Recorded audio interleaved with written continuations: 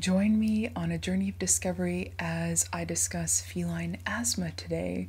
I'm Dr. Em. Welcome to VMC. Let's discuss risk factors, treatments, and more. Let's make sure your cat can enjoy every breath of fresh air that they take quite literally. Join me, you'll learn something today.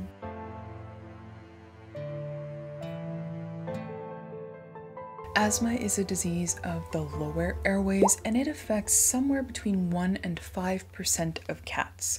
There is a little bit of disagreement among researchers about the precise definition of asthma, but most seem to agree that this is an issue that occurs when a cat inhales a allergen that their body doesn't like and those particles end up stimulating the cat's immune system. So when a susceptible cat first inhales an allergen, her immune system will take note of it and start reacting to it. And the way the body does that is by creating antibodies to that specific antigen.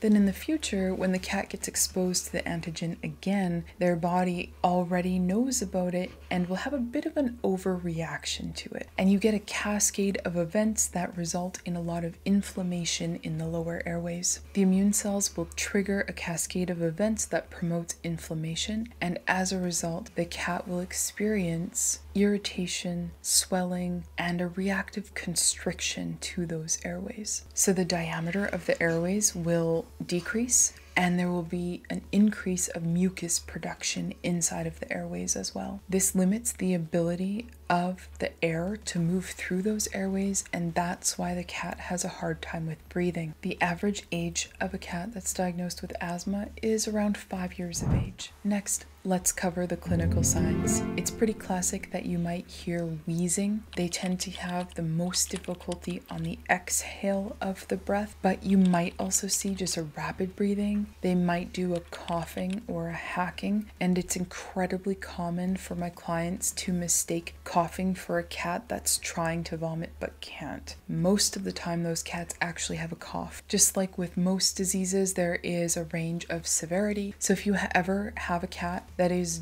doing any of these things, try to get some video of it and bring it to the clinic, as that can be very helpful for your veterinarian. Now, sometimes the cats can be hacking and coughing so severely that it can cause vomiting, and that can make things very confusing for people. Also, on the more severe end of symptoms, we might see a cat that's open mouth breathing.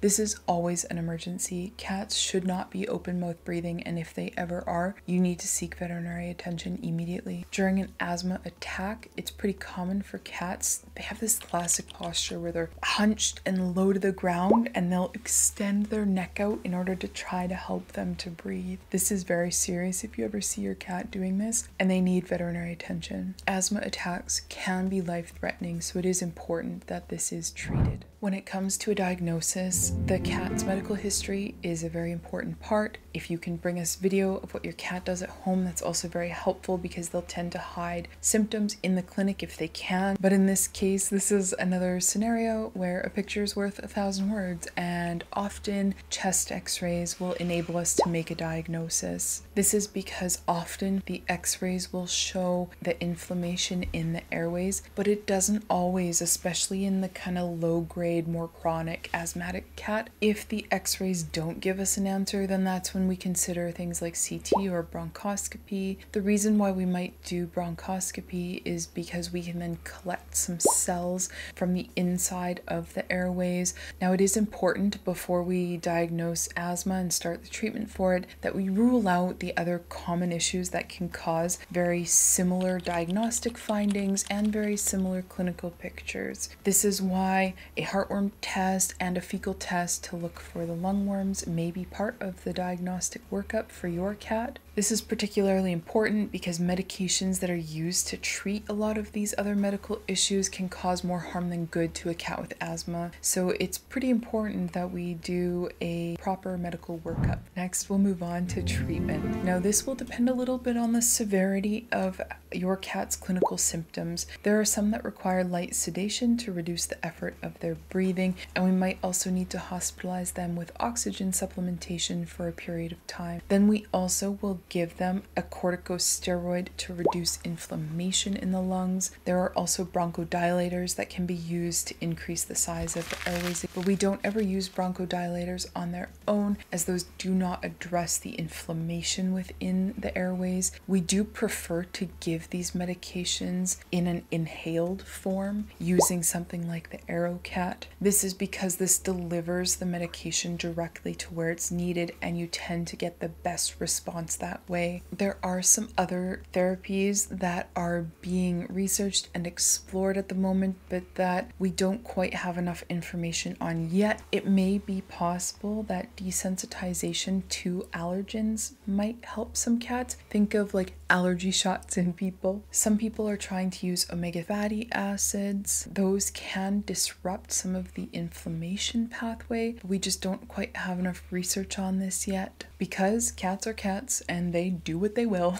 there are some cats that have a food allergy that will end up having respiratory problems. And so, as part of the treatment plan, your veterinarian may recommend a proper prescription hypoallergenic food trial. But in most cases, the most commonly suspected allergens are things like tobacco smoke. You should never be smoking around your cat. At the very bare minimum, go outside to smoke, and ideally, you would change your clothes before you come back inside. Vapors from household cleaning solutions or aerosolized sprays, so many of them are so fragrant and scented, and it's just awful for our pets' respiratory tracts. This includes essential oil diffusers as well, which is one of the very many reasons why I do not recommend you use those in a household if you have pets. But the cat might also be reacting to pollen from trees or plants or grasses, mold, dust mites. All of those things might play a role. Smoke from candles and fireplaces can also bother our cats with asthma, so avoiding those is also important. And lastly, making sure that you are using a low dust clumping cat litter. They will tend to advertise on the bag if they are low dust, but that can be very important for cats with asthma. Unfortunately, there is no way to cure a cat of asthma, but often they can be well managed if we reduce their exposure to allergens in their homes, we give them the medications that they need to control their symptoms, and we monitor them closely for changes in respiratory rate and respiratory effort. Most asthmatic cats live a wonderful, healthy life when we implement those things. As you know, I am all about prevention where it's possible it is helpful in preventing problems when we reduce the exposure that a cat has to bronchial irritants. Overweight and obese cats might have an increased risk of asthma as well, so keeping your cat a lean body condition score is important. It's important for many reasons, but there is a bit of a link here too. And lastly, keeping on top of the dental disease is very important, and this includes intraoral x rays. This is because bacteria in the mouth can get into the bloodstream and travel throughout the body, and it can cause inflammation in the airways. And if your cat has asthma or is predisposed to having respiratory problems, having dental disease will make that worse. This topic was one that was suggested by you, and I'm very grateful for that suggestion. If you have another topic you'd like me to cover, please leave it in the comments below. And also tell me about your cat. Do they have asthma? Do they not? Did ever find out what particular bronchial irritants triggered them? To prove that I read every comment, I highlight a new one every week. And I put out a new video most Fridays, so I look forward to seeing you in the next one. Have a wonderful week, and bye! And you will get. My dog is dreaming. I presume you can hear it. It's very distracting. I'm having a hard time saying this.